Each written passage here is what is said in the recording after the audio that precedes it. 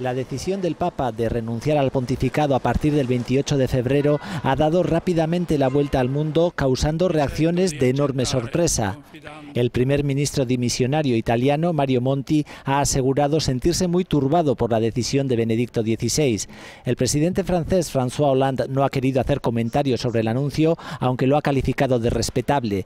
La canciller alemana, Angela Merkel, ha afirmado que ha tenido que ser una decisión difícil para el Papa y también ha mostrado respeto ante el anuncio de hoy.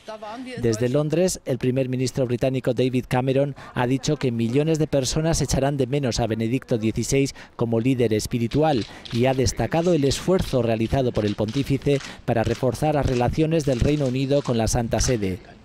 Solo el hermano del Papa, el también religioso Georg Ratzinger, ha reconocido que sabía de antemano la decisión anunciada hoy.